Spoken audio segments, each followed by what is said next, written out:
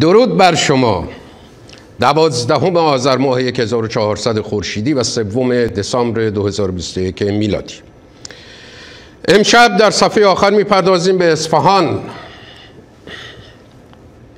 هم اعتراض های جاری مردم اصفهان و هم فرونشست هولناک این شهر تاریخی بینظیر در جهان.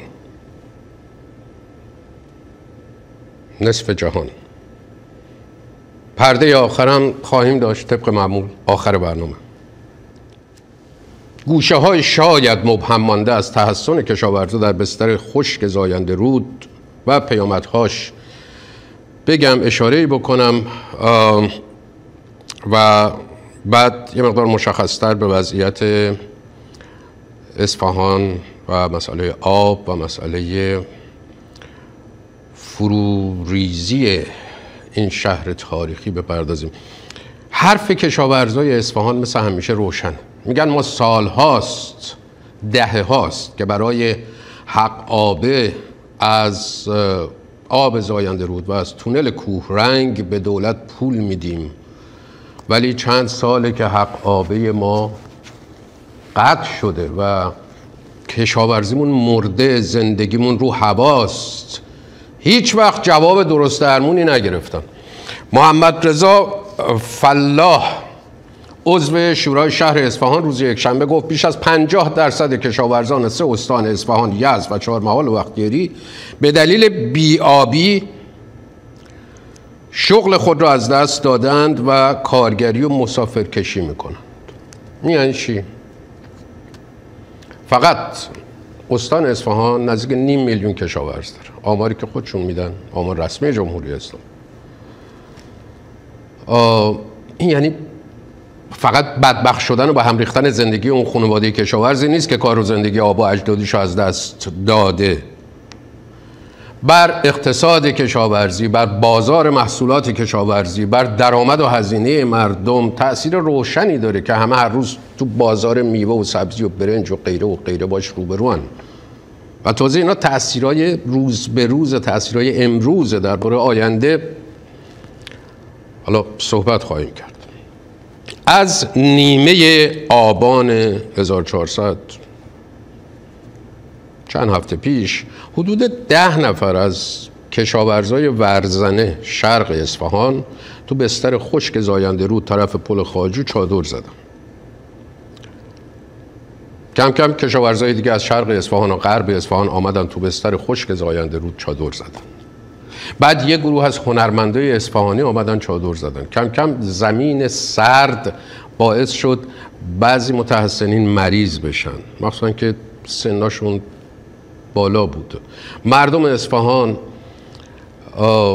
دیگه نه فقط کشاورزا مردم از توی شهر آمدن موتور برق بردن واسه همین دو تا چادر بزرگ و اون اطراف.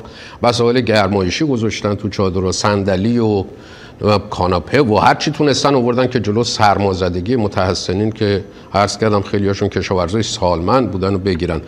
نه مسئولان استانی نه نماینده های مجلسشون نه رئیس جمهورشون. هیچکی نیمد سراغ متحسنین که داشت تعدادشون هر روز بیشتر می‌شد.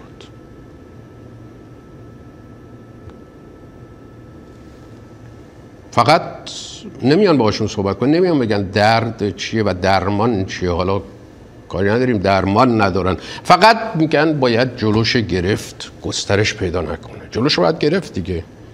منتها اینجا دیگه شیشه مغازه و بانک نیست که بیاریم پایین و بهونه باشه برای حمله به تجمع. بارها و بارها دیدین دیگه. چادرها رو آتیش بزنیم بعد حمله کنیم.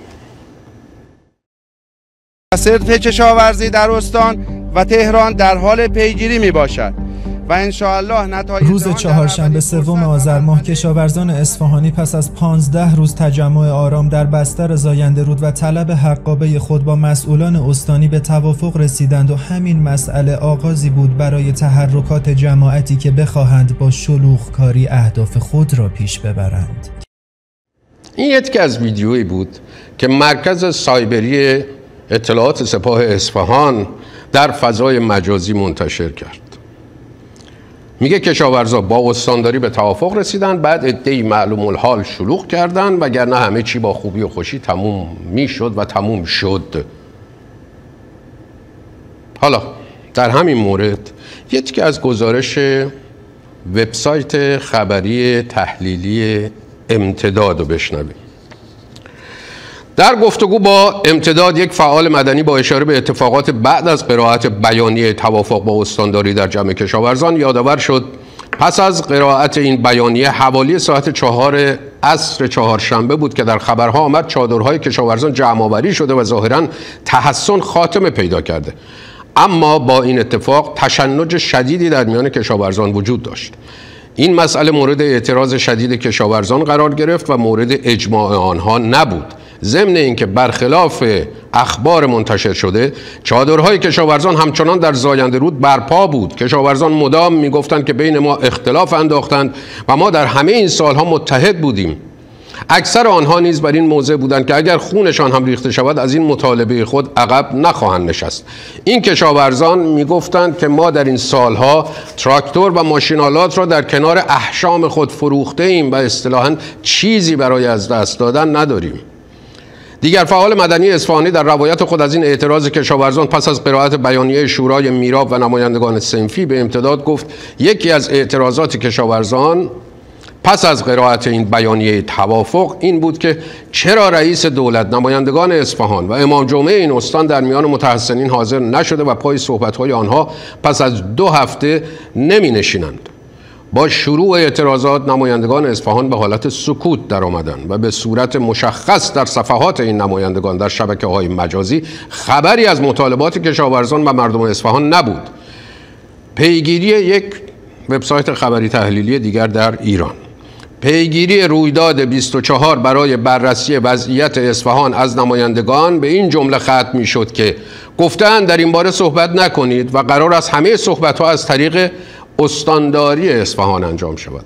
مثلا نماینده های مردم هن. نباید از مردم حرف بزنن. استانداری که گماشته وزیر کشور در رأسش هست وزیر کشور سپاهی فقط باید حرف بزنه. حالا اگر نماینده هاشون اجازه داشتن واقعا حرف می‌زدن؟ واقعا. صادق تبا تبایی نژاد نماینده اردستان در اصفهان به رویداد 24 می‌گوید اطلاعات من هم در همین حد اطلاعاتی است که در رسانه ها وجود دارد و اردستان بودم هفته گذشته به اصفهان نرفتم. الانم در تهران هستم. تصمیمی هم ندارم این هفته به اصفهان بروم. چون وقت بازدید از حوزه انتخابیه نیست و باید در مجلس باشم.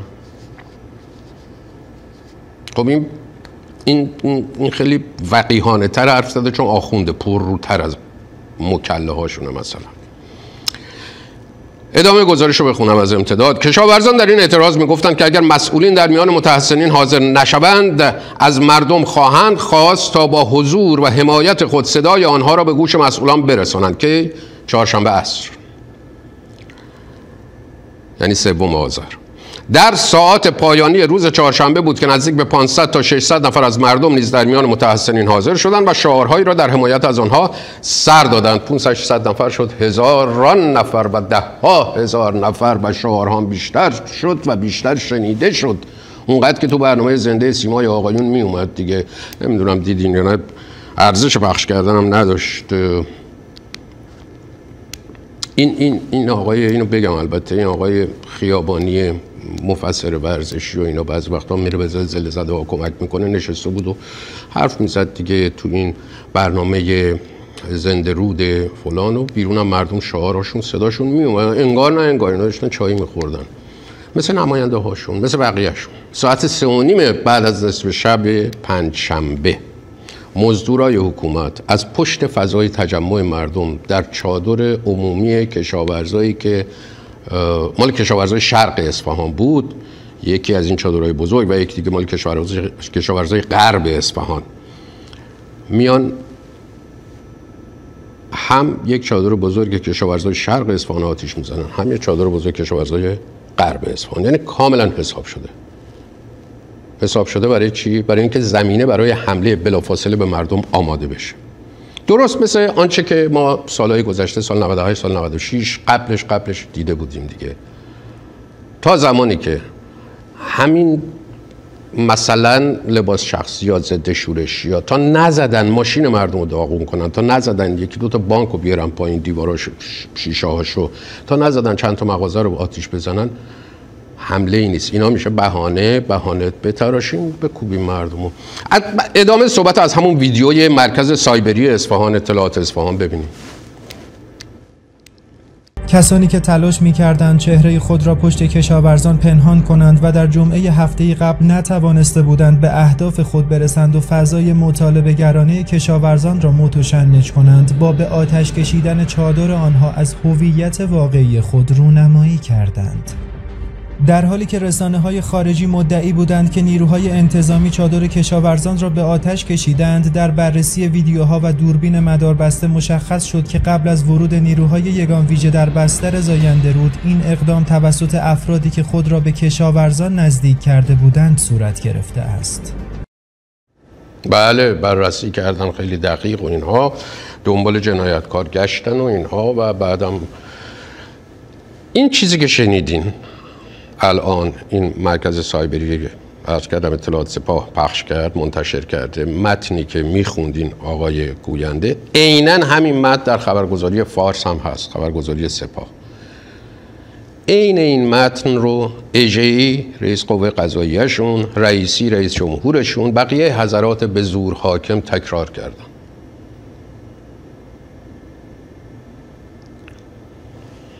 ولی خب عرض کردم نمونه هاشو بقیه رسانه های دیگر داخل ایران ماجرا رو جور دیگری گزارش کردن. از جمله درباره همین آتش زدن چادرها.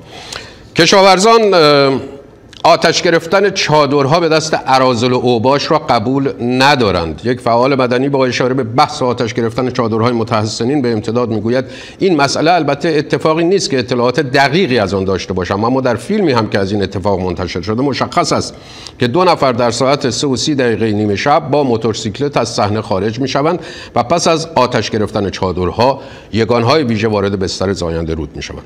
کشاورزان اعتقاد دارند که این اقدام توسط عناصر مشکوک که قصد جمعآوری چادرها را داشتند صورت گرفته است. کما اینکه کشاورزان پس از آتش گرفتن چادرها در بامداد پنجشنبه مدام از مردم درخواست داشتند تا در میان آنها بمانند و به خاطر بیم جان متحسنین را در پنجشنبه شب تنها نگذارند.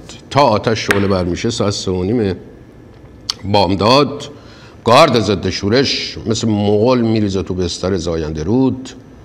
از شمار کشته ها و زخمی های ناشی از حمله نیروهای حکومت به مردم در پنجم آذر که به جمعه سیاه معروف شد هیچ آمار دقیقی نداریم. باز مثل همیشه. کدوم حکومت توتالیتری رو دیدین که حکومتش مبتنی بر صرفا خواست یک نفر یا یک گروه کوچکه که هر وقت اتفاقی در کشورش میفته بیاد آمار دقیق بده از آنچه اتفاق افتاده گزارش دقیق بده به مردم. هیچ وقت هیچ جا. پرستاری که در یک از بیمارستان های دولتی نزدیک محل حادثه کار می‌کند به ایران وایر می‌گوید اغلب زخمی هایی که به بیمارستان محل کار او منتقل شدند از ناحیه سر و صورت یا سینه و با شلیک گلوله های ساچمه ای زخمی شدند. اما وضعیت آنانی دردناکتر بوده که ساچمه ها به چشمانشان اصابت کرده و در این میان تعدادی هم بینی بیناییشان را از دست دادند. او می‌گوید آمار شکستگی دست پا و سر و صورت اصلا خارج از شمارش بوده است.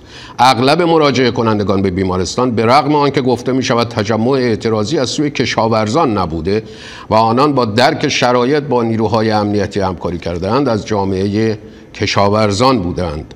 بیشترشان سن و سالی از آنها گذشته. دست کم چهار نفر از آنان را به خاطر سکته قلبی به بیمارستان ما منتقل کرده بودند. این پرستار از همکار معتمد خود در بیمارستان دیگری شنیده که دست کم جسد یک معترض که به دلیل خونریزی داخلی در گذشته بوده در سردخانه بیمارستان آنها نگهداری می شود و گواهی فوتش با عنوان تصادف منجر به مرگ صادر شده است. فرمانده نیروی انتظامی اصفهان میگه بعدا که میاد مثلا توضیح میده میگه اونا بمب صوتی پرتاب کردن به سمت مردم و همکاران ما نیروهای انتظامی و بسیج که بمب صوتی بهشون پرتاب شده بود. مردم بمب صوتی داشتن. بعد بعد خب همکاران ما به اونا تیراندازی ساچمه ای کردن و خب عده‌ای از اونا مجروح شدن. سردار در وقای امروز زخمی یا خدا نکرده کشته داشتیم؟ خب الحمدلله با درایتی که هم همکاران عزیز بنده هم سایر عزیزان مثل عزیزان بسیج داشتن. در حال ما با کمترین هزینه برای نظام و مردم عزیزمون این عملیات رو اداره کردیم. ولی خب به حال با توجه به سنگفرانی و بعضا استفاده از مواد منفجره که حالا در قالب ترقجات و خدمتشون بمب های صوتی متاسفانه بعضی از این افراد استفاده می‌کردن علیه مردم علیه خدمت شما روزم که نیروهای پلیس و دستگاه امنیتی خب یه تعدادی از همکاران عزیز بنده متاسفانه مجروح شدن. و خب تعدادی هم توسط اونها با ساچمه حالا یا تیراندازی که داشتن مجروحیت دارن بین مردم هم هم به هم شکل برخواد تعدادی از اونها یه جراحت های سطحی داشتن بله. بعد اونا اونا کیان؟ اونایی که بمب صوتی و اینا انداختن رو شما.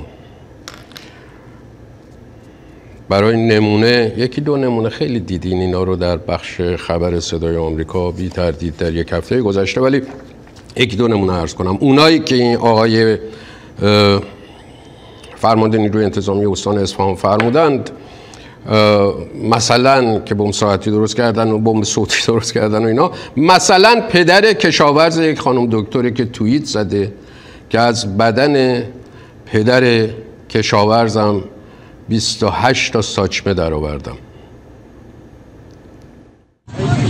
عراضالو باش نبودن نیروی انتظامی بوده با. دوباره نچسبونین به عراضالو رأس حکومت خامنه نشسته طبق قانون خودشون. هم تعیین کننده و ابلاغ کننده سیاست های کلان نظامه و هم فرمانده کل قواست. یعنی هر نانی که از سفره مردم کم میشه هر چشمی که کور میشه هر کسی که ناقص میشه هر خانواده ای که عزیزی رو از دست میده تو این تجمع مسالمت آمیز مدنی که بعد به این صورت به آتش میکشنش مسئولش طبق قانون خودشون به طور مستقیم و رسما خامنه است نماینده هایی هم که گمارده در استانها و مستقیم با دفتر رهبرشون و با اطلاعات سپاه هر استان کار می‌کنن خیلی بخوان دلشون به حال مردم بسوزه. راه حلی که به مردم میدن اینه. ببینیم. دیگه وقتی نزولات آسمانی کم است با تجمع و تحسن درست نمیشه. مقابل خدا تجمع کنیم و بله تجمع باید بکنیم در نماز استسقا در دعا در مناجات در التماس از پروردگار. اما نه به عنوان اعتراض. یعنی اهل کشورها این دو بال رو می داشتن بال ایمان و بال تقوا. مبتلا به کم آبی نمی شدن. چهل ساله که میگن زلزله و سیل و بیابی و گرانی و هر بلایی که سر مردم اووردن به خاطر گناهان مردم. این بارم به عنوان حافظان پرچم ولایت که خودش سایه خدا زل الله میگن مقابل خدا تجمع و تظاهرات. نعوذ بالله. وقت وقاحت رو ببینین چه بیمرزه در جمهوری اسلامی از رأسش تا پایینش. هنوز سه سال نشده. همین بهمن 97 بود که خامنه ای حکومت فرانسه رو درست به جنایت های متهم کرد که هفته پیش به دستور خودش تو اصفهان اتفاق افتاد. ببینید توی خیابان های پاریس مردمشون رو دارن کور می‌کنن. مردم تظاهر کننده ای که تو خیابونای پاریس دارن حرکت می‌کنن به وسیله نیروهای مسلح دولت فرانسه مورد تهاجم قرار می‌گیرن بسیاری کور میشن. یعنی اینجور با مردم مردم به خودشون رفتار می‌کنن.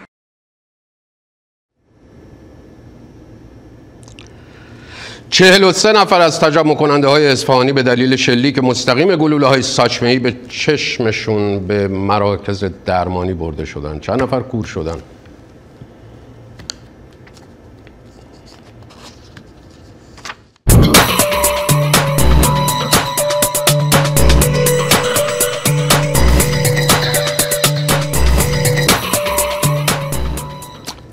فدایی فرد کارشناس آب می‌گوید ایران از حدود 50 هزار حلقه چاه در سال 57 به بیش از 700 هزار حلقه چاه در سال 1395 رسیده و پس از سال 95 دلیل کاهش رشد حفر چاه این است که دیگر آب بیشتری برای تخلیه از چاه ها وجود ندارد و کفگیر به ته دیگ خورده و این در یک کلام یعنی برداشت همه آب تجدید پذیر کشور. میلیون ها سال زمان صرف تشکیل این سفره های آب زیرزمینی شده آبهایی که با برداشت بیرویه در عرض چند سال نه فقط منابع آب بلکه زمین رو هم از بین می‌بره. 50 سال قبل 20 در عمق 20 متری به آب زیرزمینی برخورد می‌کردیم. الان میریم در عمق 320 متری. و این یعنی اینکه قسمت اعظم آبخان رو از دست دادیم و از بین بردیم و خوش کردیم. رئیس سازمان زمینشناسی کشور می‌گوید اصفهان بحرانی ترین شهر در فرونشست شهر هاست الان یکی از بحرانی ترین جاهایی که تو کشور وجود داره در واقع دشتای استان اصفهان هستش که با پیده فرونشست مواجه شده. میزان فرونشست در شهر اصفهان چیزی حدود 16 سانت و 2 میلیمتر هستش 162 میلیمتر هستش که متاسفانه زبانهای فرونشست داخل شهر شده. قسمت مرکزی شهر بافت تاریخی شهر تحت تاثیر فرونشست داره قرار می‌گیره.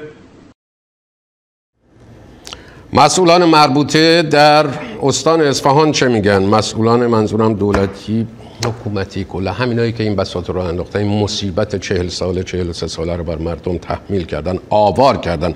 اونا میگن هیچ مشکلی نیست. بنای تاریخی مثل پلهای تاریخی یا امارت عالیقاپو از نظر ما از نظر ساده ای هیچ مشکلی ندارن. یعنی وضعیتشون کاملا نرمال هست و وجود ترک آسیب در بنای تاریخی خب امر طبیعی است ترک اینجا رو می‌تونم بگم آقا مال فروش نشستیم ترک این پلها رو مسجد جامع عباسی هم می‌تونم بگم مال فرو نشست نیست. میدون نقش جهان هم می‌تونم بگم مال فرو نشست نیست. خونه های مردم هم می‌تونم بگم مال فرو نشست نیست. خیابون آپادانا هم می‌تونم بگم مال فرو نشست نیست. تا کی می‌خوایم ما کتمان بکنیم؟ تا کی می‌خوایم ما بگیم اصفهان گل و بلبله. بحران از دشت ها آغاز شده و به سرعت به شهر رسیده. 600 دشتی که تو ایران داریم نزدیک 300 خورده دشت اون تحت تاثیر فرونشسته اما کدوم دشته که یه شهر دو میلیون نفری توشه؟ کدوم دشته که 6000 سازه تاریخی توش قرار داره؟ کدوم دشته که سه تا فرودگاه توشه؟ کدوم دشته یه پالایشگاه توشه؟ کدوم دشته که نیروگاه برق توش وجود داره که 8 درصد برق کشور رو داره میده؟ نشست های نامتقارن حالا لرزه بر تن آثار تاریخی نصف جهان انداخته. نشست وقتی که متقارن باشه کل سازه میاد پایین. اما وقتی که نامتقارن باشه چه اتفاقی میفته؟ این ترک ها ایجاد میشه. ببینید به این ترک ها مرمت شده. دوباره مرمت شده چون از زیر خرابه از پی خرابه پی داره نشست می‌کنه. دوباره سرباز می‌کنه. 1409 خاتمه اصفهانه. می‌خوان قبول بکنن می‌خوان قبول نکنن. و فرونشست زمین فقط در اصفهان نیست. مدیر مرکز تحقیقات راه مسکن و شهرسازی ایران می‌گوید ایران از نظر بحران فرونشست زمین در رتبه چهارم جهان قرار دارد. برای مثال کازم آباد ورامین یه مجتمع مسکونی چهل واحدی. در حاشیه کمربند شمالی این شهر به دلیل فرونشست از بسد نصف شده. بیشتر واحدهای آپارتمانی این مجتمع تو بیشتر اینها خانواده ها سکونت دارن.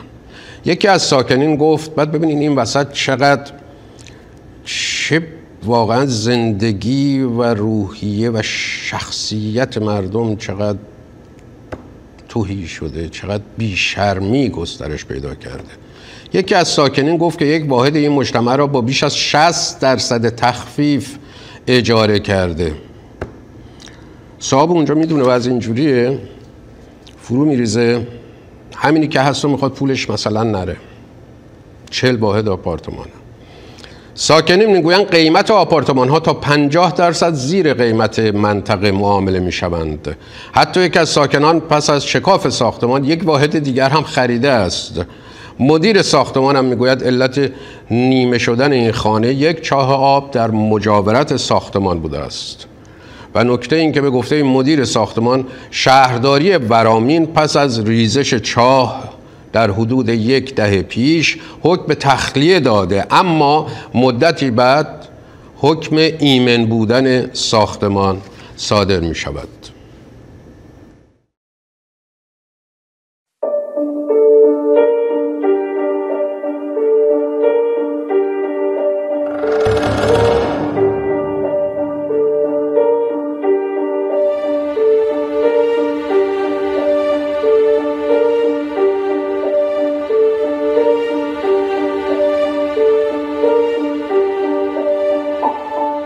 6 سال بیشتر میاد چون اینجا نشست کرده بوده. بعد وقتی که نشست کرده این ترک باز شده. بعد اومدن پر کردن. ولی خب ترک ها هیچ اهمیتی ندادن دیگه همچنین که بوده بوده. چای اینجا نشست کرده بوده. چهار آره چهار نشست کرده بوده. چای نمی‌دونم فاضلاب بوده آب بوده. من میگم اطلاع ندارم چجوری ولی میگن 7 8 سال اینطوریه این برنامه‌اش. یعنی الان سقف خونه ما قشنگ. من به خود هر روز روز یه خاک انداز من خاک جمع می‌کنم. چون میریزه از سقف میریزه آره. بعد این ترک هم کلیه یعنی قشنگ تا بالکن اونور همین ادامه داره. ساختمون در اصل نصف شده آره. تو خونه ها ما الان تو خونه خودم اتاقای بچه قشنگ بازه. فعلا یه ما این مشکلات داریم. بالا ما بالا صحبتی می‌کنیم میگن نه همه جا به ما مجوز داده که اینجا هیچ گونه خطری نداره. در تهران هر روز یک میلیمتر از زمین هر روز یک میلیمتر از زمین نشست می کند یعنی در سال 36 سانتی متر این میزان نشست تهران را رکورددار نشست زمین در دنیا کرده است. اجازه بدید بریم خدمت مهمان گرانقدر برنامه در خدمت آقای دکتر ناصر کرمی هستیم اقلیم شناس و کارشناس ارشد محیط زیست. خوش آمدید آقای دکتر کرمی عزیز به امشب صفحه آخر.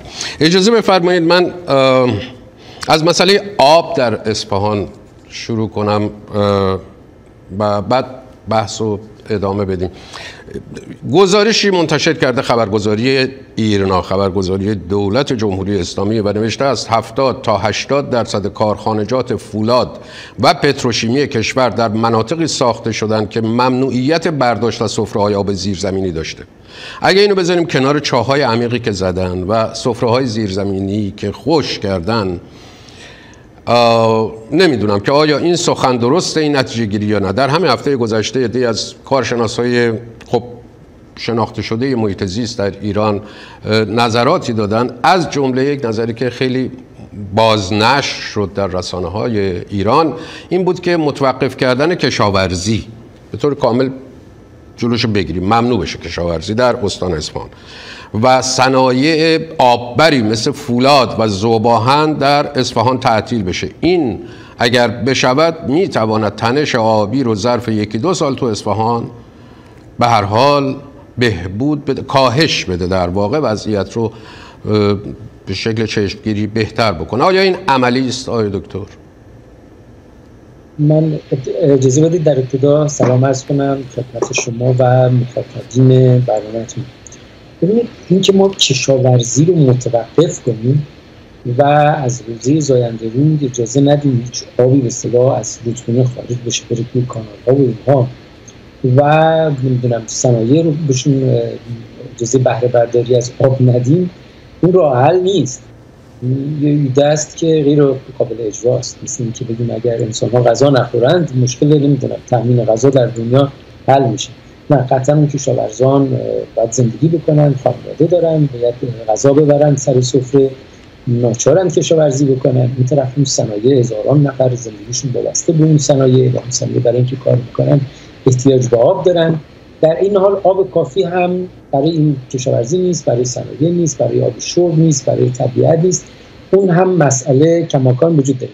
این چیزی که گفته شد راه حل نیست. یک جور صورت مسئله است. یعنی اینکه ما اینجور ظاهرا به نظر می‌رسه که برای حل موضوع چاری نداریم. جز تعطیلی کامل کشاورزی در اونجا. آقای دکتر؟ من میشتم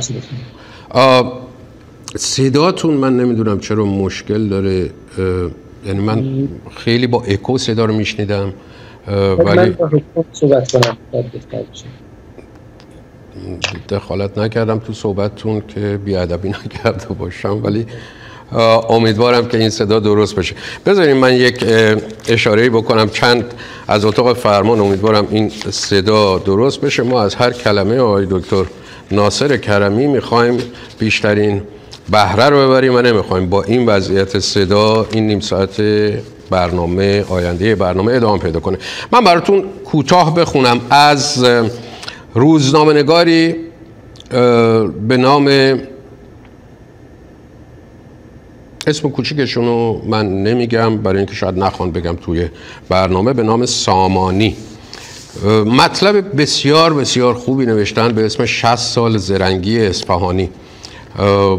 البته من اسفونی هم نمی‌ذارم کسی همینطوری بگه زرنگی اسفونی اما از شوخی گذشته این این مطلب بسیار خوبه ای تونستین با این تیتر 60 سال زرنگی اصفهانی در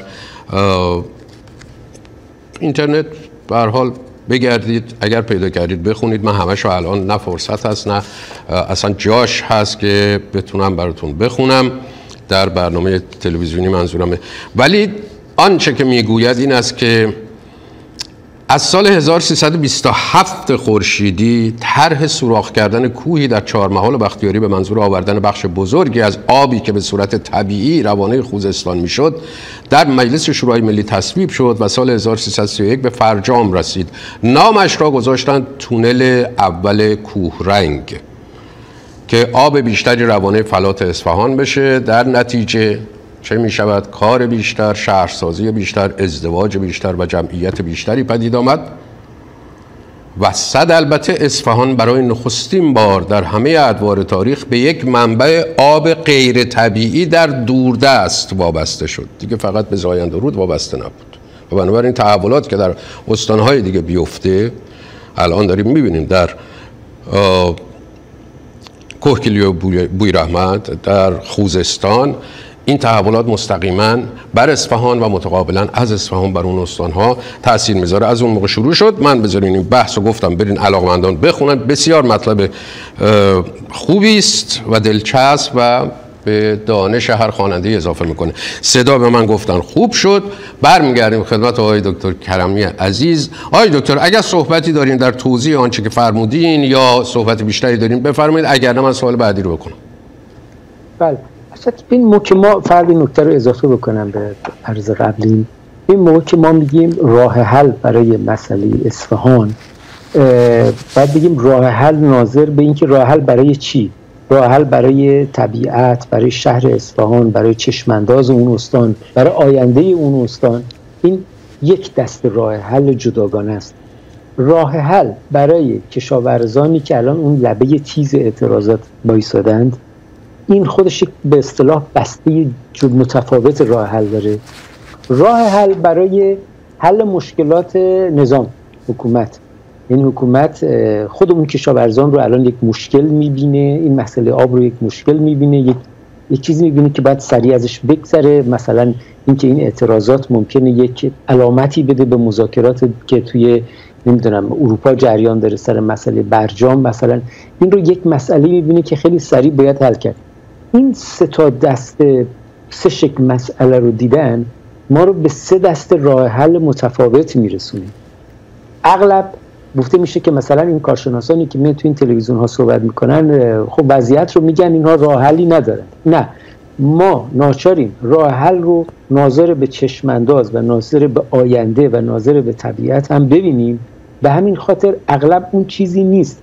که رسانه های داخل حاکمیت توقع دارن بشنون یا اون چیزی نیست کسانی که قصد تقلیل ماجرا رو دارن به فقط حل مسئله تعداد کشاورز به فقط حل مسئله این چند روز کنونی نظام ناظر به اون نخواهد بود. به هر حال مسئله اصفهان الان به یک جایی رسیده که راه های فقط پیچیده فقط بسیار پرهزینه و فقط خیلی بلند مدت داره. آقای دکتر آیا همه مسئله اصفهان آبه اصلا؟ ها این نکته مهمیه. مسئله اصفهان فقط آب نیست. یعنی اصلا مسئله اصفهان فقط محیط زیست نیست. اصفهان مسائل دیگری رو هم داره. من عرض می‌کنم خدمتون. اصلا اگر اون مسائل دیگر اصفهان حل می‌شد کار ما به مسئله آب و محیط زیست نمی‌کشید. مسئله محیط زیست هم همش آب نیست. یعنی محیط زیست چند تا مسئله داره در اصفهان. یکیش آبه. اما متاسفانه ماجرا تقلیل داده میشه فقط به آب. حالا دلایلی من دارم براش. دلیل رسانه‌ای دلایل اینکه خود سیستم هم اینو می‌خواد که مسئله تقلیل داده بشه به اونجا. یعنی اینقدر مسئله گسترش پیدا نکنه که دامن کل نظام رو بگیره. من فقط یک مثال بزنم خدمتون. اصفهان مثل خیلی جاهای دیگه ایران یعنی مثلا شما خوزستان رو ببینید. خوزستان با اون ثروت و با اون امکانات و با همه چیز. یعنی حتی توریستی از نظر تاریخی اونجا پارسوماش بوده شوش بوده چی بوده. خب الان چه چشم اندازی داره؟ چه رؤیایی داشته خوزستان و الان چه وضعیتی داره؟ درسته؟ همین رو می‌تونم درباره فارس بگم سیستان و بلوچستان بگم استانهای شمالی بگم آذربایجان ها کردستان ها خراسان ها همه می‌تونم اینو بگم. درباره اصفهان. ببینید اصفهان قرار بوده من می‌تونم اینو با دلایل ثابت کنم. و توی کتاب من راهیاب ایران اون بخش مربوط به اصفهان رو یه نگاه بندازید که اصفهان قرار بوده اون اصلا کتاب مال 15 20 سال پیشه. خیلی قبل از این مسئله آب و ایناست با فلورانس و پاریس و پراگ و بوداپست و اینها رقابت کنه. اما اصفهان الان با هیچ جا نمی‌تونه رقابت بکنه. واقعیتش اینه. با از نظر توریستی یک یک موقعیت خیلی تقلیل یافته و کوچیکی پیدا کرده. اگر اصفهان اون رؤیای خودش می‌تونست دست پیدا بکنه یعنی شهری بود که می‌تونست با فلورانس و پراگ و اینها رقابت کنه اینقدر درآمد توریستی داشت که ناچار, ناچار نبود آخرین قطره آب رو از زیر زمین بکشه و باش کشاورزی بکنه. چون اون رؤیا بهش دست پیدا نکرده برای مردم اونجا راهی برای امرار معاش و راهی برای سیر کردن شکم جز اینکه به در و دیوار طبیعت بیاویزن پیدا نشده. این فقط یک بخش از مسئله است که میگم مسئله اصفهان بزرگتر از مسئله محیط زیست و مسئله آب هست. آقای دکتر آیا واقعا تا کمتر از ده سال دیگه این فکر می‌کنم مدیر زمین شناسی بود سازمان زمین شناسی بود که صحبت می‌کرد دلسوزانه درباره اسپانیت که صحبتشو پخش کردیم که میگه تا نه سال دیگه فرونشست زمین در اصفهان چنان خواهد شد که خلاصه نه از آثار تاریخی چیزی بمونه نه امکان زندگی تو این شهر وجود داشته باشه. این ارزیابی چقدر واقعی است؟ ببینید بگم که این ارزیابی بر پایه چه مسائلی هست. در استان اصفهان مثل بقیه مناطق ایران حالا کما بیش شاید اصفهان یه ذره بیشتر. چون اصفهان پول بوده که می‌تونستن باش چاهای بیشتری و چاهای عمیقتری بزنن. میزان برداشت از آبهای زیرزمینی خیلی بیشتر از میزان به اصطلاح حالا یا تغذیه این آب هاست یعنی که ما حد مجاز اینه که آن مقدار آبی که سالانه به صورت طبیعی تغذیه می‌کنه آب زیرزمینی می‌تونیم این رو مورد استفاده قرار بدیم که در یک سطح ثابت و پایداری بمونون آب زیرزمینی. در استان اصفهان سالهای متوالی است که به طور متوسط هر سال 200 میلیون متر مکعب بیشتر از اون تغذیه معمول سالیانه داره از آبهای زیرزمینی بیشتر میشه. نه که 200 میلیون متر مکعب استفاده میشه 200 میلیون متر مکعب بیشتر از تغذیه و ریشاش. حالا این چی چه به اصطلاح عواقبی به وجود آورده؟ این است که هر سال به طور متوسط 60 سانتی متر سطح آبهای زیرزمینی پایینتر رفته. الان مجموع به اصطلاح بدهکاری اصفهان به آبهای زیرزمینیش یک چیزی حدود 8 میلیارد متر مکعبه. این یعنی چی؟ و این سال 200 میلیون متر مکعب داره بهش اضافه میشه. این یعنی که اگر می‌خوایم اصفهان به یک وضعیت پایدار برسه از نظر اکولوژیکی دوچار فرونشه است دوچار فرسایش خاک دوچار بیابانزایی و اینها نشه حداقل باید 20 سال اصلا و ابدا هیچ دست به آبای زیرزمینیش نزنید. یعنی کل چاهای این استان از بالا دست تا پایین دست همش باید کور بشه همش باید ممنوع به اصطلاح استفاده بشه. هیچ آب زیرزمینی استفاده نشه. اما ما می‌دونیم که اینجور نخواهد شد. یعنی ما می‌دونیم هیچی نمی‌تونه اون چاه رو کور کنه هیچی نمی‌تونه مانع اون کشاورزا بشه و کماکان اون آخرین قطره های آب زیرزمینی رو بیرون خواهند کشید. پس این روند فرونشست آبهای زیرزمینی تخلیه به اصطلاح اون آخرین قطرات رطوبت باقی مونده در خاک اصفهان ادامه داره. اصفهان کماکان در معرض بیابانزایی فرسش خاک و فرونشست باقی خواهد موند. حالا اینکه اون به اصطلاح مهلت و اون زمانی که فرمود رئیس سازمان زمین شناسی تعیین کرده حالا ده سال حالا کم و زیادش رو من چون تخصصم زمین شناسی نیست نمی‌دونم. ولی به هر حال این روند طبیعت یک جایی تحمل می‌کنه و نشون نمیده بیرون که داره چی میشه. ولی از یک جایی به بعد طبیعت ناگهان یک واکنش به یک رفتار بسیار خشن نشون میده. این رفتار خشن می‌تونه مثلا همین فرونشست خیلی گسترده در بافت های مسکونی شهر باشه. می‌تونه فرونشست یک صد باشه که مثلا توی اون محدوده ها نزدیکه و اون می‌تونه خیلی عواقب داشته باشه. به هر حال الان اونجایی هستیم که طبیعت به سختی و رنجور داره تحمل می‌کنه. حتی تحمل هم نکردی برای شما می‌بینید چشمانداز اطراف اصفهان اصلا چشمانداز 20 سال قبل نیست. ولی از یک جایی دیگه این تحمل رو رها می‌کنه که به اعتقاد رئیس سازمان زمین شناسی احتمالا می‌تونه از ده سال آینده باشه. به این معنی من جنبندی بکنم صحبتتون آنچه که من دریافتم این است که اولا آبخانه ها یا سفره های آب زیرزمینی در واقعیت قابل احیا نیستند تجدید پذیر نیستن. مخصوصا که میفرمایید که خب می‌دونیم که چهار رو برای 20 سال آینده کور نمی‌تونه کسی بکنه نمی‌کنن. از نظر تکنیکی میشه چرا؟ به حال اگه قانون رو حاکم باشه ما که شما به این وضعیت رسیدیم از باید قانونا اجازه بهره برداری از آبهای زیرزمینی نشه تا زمانی که اینها به حد مطلوب برسن. یا حداقل این که بیایم بین تقضیه اینها و اون میزان به اصطلاح بهره برداری یک تناسبی ایجاد کنیم. یعنی فرض من می‌گیرم که اگر ما اصلا دست نزنیم 20 سال دیگه اینها کاملا به سطح مطلوب برمیگردن. اما اگر اتفاق کنیم مثلا به سالی فقط 100 میلیارد 100 میلیون متر مکعب برداشت حالا این 20 سال میشه میشه 30 سال. یعنی میشه یک حدی رو خیلی سختگیرانه هم برداشت کرد ولی باز امیدوار بود به احیا. ولی با وضعیت موجود و میزان برداشت موجود نه قطعا نمیشه امیدوار بود. یعنی این این آنچه که میفرمایید این از راه حلی که مسائل زیست محیطی اصفهان به هر حال تا حدی بشود قابل تحمل بشه. ببینید اینجا این مسئله آب زیرزمینی مهمتر از آب جاریه. چون این اثر اکولوژیکش مشهودتر و ملموستره به خصوص برای شهر اصفهان. یعنی اگر مسئله ما مسئله یه دشت بود خب میشه ترکیبی از مسئله حالا که چجوری از آب جاری و آب زیرزمینی استفاده میشه رو در نظر گرفت. ولی اصفهان اولویتش حل این مسئله اضافه برداشت از آبهای زیرزمینی و فرونشست آبهای زیرزمینی. و این ربطی به خیلی ربطی نداره به اینکه اون بالا چاه می‌زنن اون بالا نمی‌دونم انتقال میدن. ما شما اگر انتقال هم بدید نمی‌دونم آب از اون بر خیلی کمکی نمی‌کنه. که چون آب از اون بر منتقل بشه نمی‌دونم حالا این بر برداشت نشه. این یک مسئله خود اصفهان داخل خود اصفهان خب باید آقای دکتر چاه زدنش معذرت می‌خوام. چاه زدن برای برداشت از آبهای زیرزمینی دیگه. چجوری میگین ارتباط نداره به اینکه اون بالا چاه می‌زنن؟ نه نه. من میگم که این در اینکه اصفهانی ها تصور می‌کنن مسئلهشون از طریق فشار به بالادست بختیاری قابل حل فقط. اگه اون بالا بتونن یک کانال دیگه بزنن آب بیشتری وارد زاینده رود کنن یا اگه از اون بالا مانع برداشت آب بشن این پایین مسائل حله. نه همه مسائل این پایین تو دست بالادست نیست. پایین دست هم مشکلات خودش رو ایجاد کرده و راه های خودش رو باید خودش برا پیدا بکنه.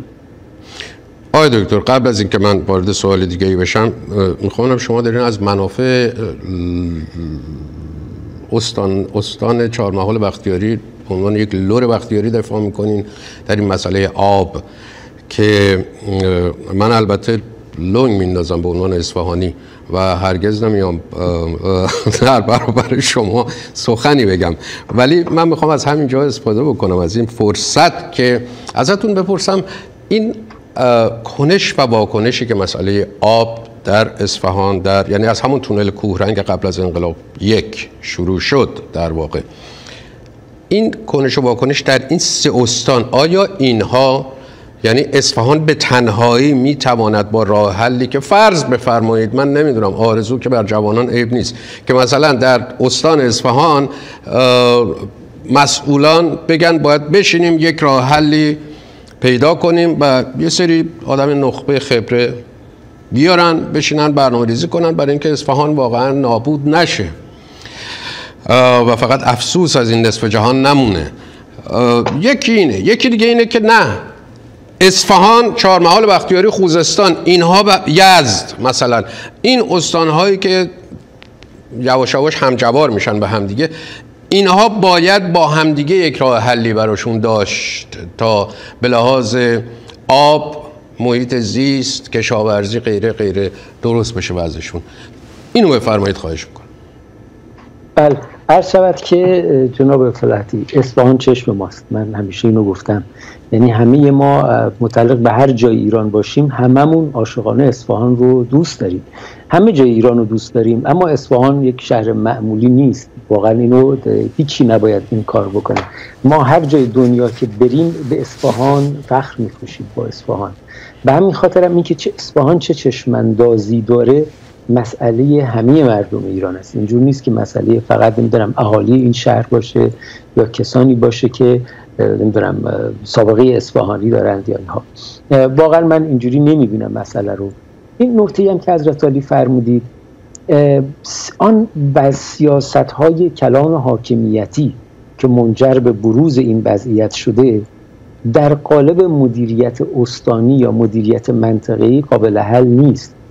یعنی اینجور نیست که می‌تونن استاندارای این چهار پنج تا استان بشینن. فرض کنیم هم مبسوط اصلا حاکمیت هم بهشون یک اختیاراتی بده. بشینن مسئله رو حل کنن. چه جور می‌خوان مسئله رو حل کنن؟ همین مثال اول رو می‌زنیم. میگیم چاها باید کورشه به مدت 20 سال. چاها باید کورشه اون کشاورزایی که معیشتشون رو از دست میدن. من دارم درباره کشاورزان اصفهان صحبت می‌کنم. مگه می‌تونید شما یک کشاورزی 20 سال 30 سال اونجا داره کشاورزی می‌کنه اجازه بهره برداری آب داره معیشت خانواده‌اش از اونجاست؟ بهش می‌خواد بگی برو بشین تو خونه چه جوری از کجا می‌خواید برای این منابع مالی تعیین کنی؟ معوض تعیین کنی؟ نمی‌دونم مشوق مالی و اقتصادی تعیین کنی که با اون مشوق اقتصادی این از چایش رو کور کنی. به خاطر آینده سرزمین اصفهان الان امسال کشاورزی نکنی این مشوق اقتصادی از بیرون منطقه میاد. از تصمیماتی که در تهران گرفته میشه. حتی فراتر از تصمیمات مبتنی مربوط به سیاست های خارجی کلان نظام به اون شروع میشه. یعنی ما برای باید ابتدا چه اصفهان چه بختیاری چه لورستان چه یزد هر جا مسئله اصلی ما اینه که یک کشاورزی ناپایداری توسعه پیدا کرده یک صنایع ناپایداری توسعه پیدا کرده. این یک بخش از مسئله است. بخش دوم مسئله. تغییر اقلیم رخ داده. ما باید با این وضعیت خودمون رو انتباق بدیم. یعنی ما باید بریم به سمت یک منطقه بچه مشترک شاید این چند تا منطقه. یعنی شرق اصفهان بختیاری غرب خوزستان غرب فارس مثلا شمال غرب استان فارس. اینها بچه مشترکشون وابستگی شدید فرصت های معیشتی به منابع طبیعیه. ما که یک جای تغییر اقلیم اونم به صورت خشکیدگی یا خوشسالی دائم و بلند مدت رخ میده. آسیب پذیرترین آدم ها اونایی که به منابع طبیعی وابستن. یعنی کسی که به منابع آب وابسته است کشاورز دامداره و اینها روستاییانن درسته؟ مو که تغییر اقلیم رخ میده. شما باید برید این آسیب پذیری رو براش راه حل پیدا بکنید. شما باید برید یک زندگی جدید یک سرنوشت جدید رو برای این آدم ها تعریف بکنید و براشون فرصت انتباق و رسیدن به اون زندگی جدید رو فراهم بکنید. این خودش یک بسته کامل حاکمیتیه که در بالاترین سطح حاکمیت باید روش کار بشه. درسته؟ هیچ کدوم از اینا انجام نشده. یعنی نه تنها تغییر اقلیم رخ داده منابع آب تقلیل رفته نیومدن وفق بدن. بلکه برعکس سبک زندگی سبک معیشت یک جوری بوده که تقاضا و مطالبه آب بیشتر هم شده توی منطقه. یعنی مثلا الان نیاز به آب توی استان اصفهان الان نسبت به 5 سال قبل 5 سال قبل نسبت به 10 سال قبل 15 سال قبل این خیلی بیشتر شده. در حالی که از 20 سال شما خود حضرت علی شاهدید من اولین بار با شما مصاحبه کردم چند سال؟ 7 سال پیش بود. این همین حرفا رو اون موقع هم زدم که ما داریم خوشتر میشیم بارش کمتر میشه دچار تقلیل منابع آب میشیم و باید خودمون رو با اون سرنوشت وفق بدیم این این عبارت رو من خاطرم از 7 سال 8 سال پیش در گفتگو با شما گفته بودم. اما نه تنها هیچ کاری در این راستا انجام نشده بلکه تقاضای آب بیشتری هم ایجاد شده توی منطقه. آب بیشتر که آقای دکتر معاون آب و آبفای وزارت نیرو میگه میانگین 90 درصد آب کشور در بخش کشاورزی مصرف میشه سه درصدش در صنعت و هفت درصدش برای شرب آب نوشیدنی. یعنی کاهش یا افزایش مصرف آب خانگی تاثیر ناچیزی بر میزان آب کشور دارد و نکته مهمی است مقایسه این اعداد دوازده درصد از مساحت ایران کشاورزی است. 90 درصد آب در بخش کشاورزی مصرف میشه. بعد درآمد از کشاورزی کمتر از 10 درصد تولید ناخالص ملی است. این آماری است که دارن میدن. خب در یه همچین وضعیتی آیا ببینین رک و پوسکنده جمهوری اسلامی قادر و حاضر و اصلا دانش این را در 43 سال گذشته دیده ایم که ندارد که بخواهد راه که شما اشاره بار فرمودین نکته بار فرمودین بهش برسه. نابودی سرزمینی ایران با وجود جمهوری اسلامی اجتناب ناپذیر نیست. این نابودی رو باید تعریف بکنیم. یعنی همین وضعیت که ما تو اصفهان می‌بینیم. ببینید بله. مشخص این, این روند قهقرایی ادامه پیدا می‌کنه. در تداوم این روند قهقرایی من میگم من همین اصفهان رو مثال می‌زنم. اصفهان اگر برگردیم به 50 سال پیش 60 سال پیش شما کتاب ها و اشعار چیزی که خارجی ها یعنی کسانی که آهنگسازان خارجی اگه اشتباه نکنم دوک الینتون هست برای اصفهان آهنگ می‌سازه. شعرهای خارجی. ببینید شعرهای عرب شعرهای عرب برای اصفهان چقدر شعر دارن. رمان نویس ها در اصفهان چقدر اشاره می‌کنن. اصفهان یک شهر رازآمیز خیالانگیز شرقی بوده که قرار بوده نمی‌دونم فلورانس خاورمیانه باشه. الان اصفهان چقدر این شانس رو هنوز داره؟ داره یا یعنی نداره؟ آقای دکتر با واقعیت موجود ها نه با با آنچه که شما فرمودین که خوب شد فرمودین که بدانیم که چرا حل علمی داره. با واقعیت موجود چقدر شانس داره اصفهان؟ من نمی‌خوام چیزی بگم که همیهنان اصفهانی گلازورده بشن. اما فلورانس فقط چهار تا بنای تاریخی نیست. فلورانس یک روحی داره که در تمام کوچه و خیابونهاش دیده میشه در آسمانش دیده میشه در طبیعت پیرامونش دیده میشه. اصفهان اینها رو داشته اما اصفهان آسمون رو نداره. یعنی اصفهان الان یک آسمان زرد رنگ غبارآلود خاکی داره همیشه. همیشه. یعنی یا آلودگی هواست مثل الان که زمستونه یا گرد و خاک و ریزگرد در تابستان. درسته یا نه؟ اون بناهای فیروزه‌ای براق و شفاف رو دیگه ما نمی‌بینیم توی اصفهان. طبیعت پیرامون که به طور کامل ویران شده. یعنی بیابان اومده چسبیده به پشت دروازه شهر اصفهان و شما از اصفهان پاتو می‌ذاری بیرون برگوباری حتی در بهار دیگه برگوباری نمی‌بینید داخل شهر اصفهان ببینید یه دلیلی که مردم این همه اومدن ریختن توی اون بستر زاینده رو به شهر ما نفس بده چیه؟ مردم اینو می‌بینن. این شهر یک فضای افسرده پیدا کرده. این رودخونه روح این شهره چرا ما فکر نمی کنیم که خود این رودخونه یک شخصیت یک حقوقی داره؟ خود این رودخونه یعنی حق داره این رودخونه این عرصه از زمین توش آب جریان داشته باشه. فارغ از اینکه این آب از کجا میاد به کجا میره فارغ از اینکه زینفعان بالا دست و پایین دست دو طرف این رودخونه کیا هستن و چه کار دارن می‌کنن؟ خود این رودخونه یک حقی داره خود این شهر یک حقی داره خود این شهر اصفهان. اصفهان یک شهری که قرار هزاران سال دیگه هم شهر باشه و جغرافیاش هویتش با این رودخونه تعریف شده. آب باید در این رودخونه جریان داشته باشه اینها. و خیلی مسائل دیگه که باید گفت. من میگم که شانس اصفهان برای فلورانس بودن روز به روز تقلیل میره. اصفهان نه اینکه بگم کامل این شانس رو از دست داده ولی روز به روز این شانس ضعیفتر میشه. این فقط یه مثاله حالا من فلورانس رو عرض می‌کنم.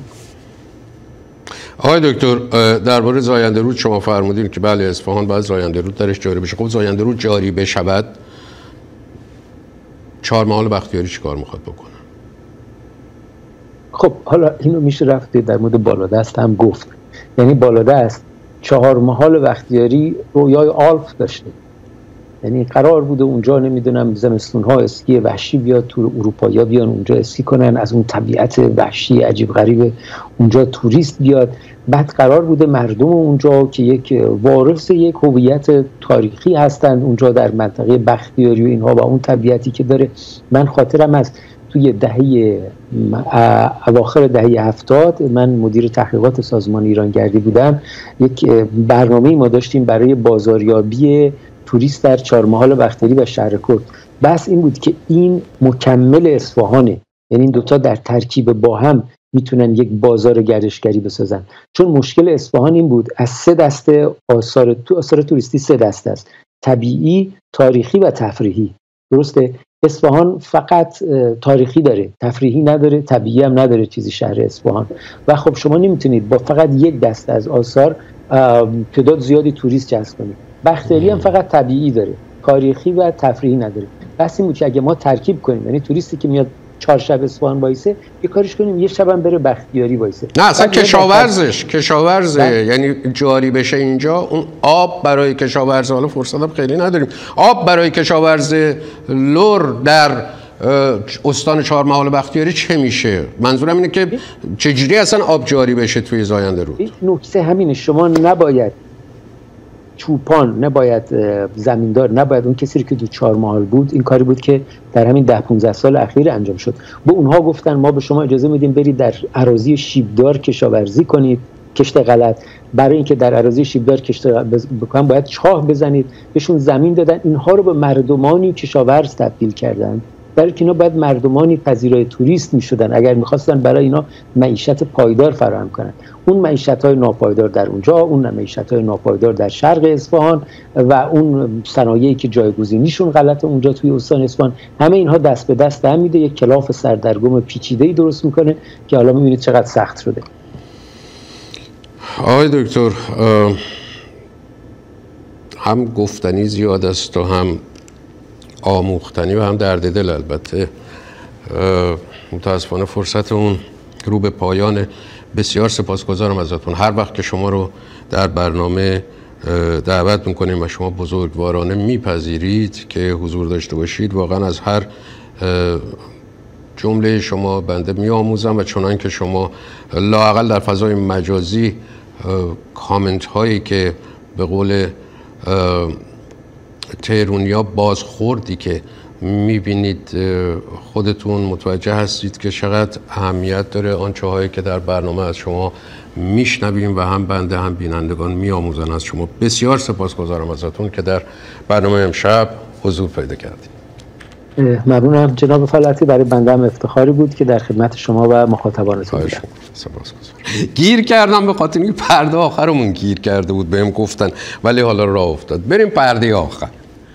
بعضیا میگن که چرا شما موشک می‌سازید اما تو صنعت خودروسازی مشکل دارید. جوابش مشخصه. چون ما تکنولوژی صنعت موشکی رو سرازیر نکردیم تو صنعت خودروسازی. بسه. بسه بسه. تکبیر نگید.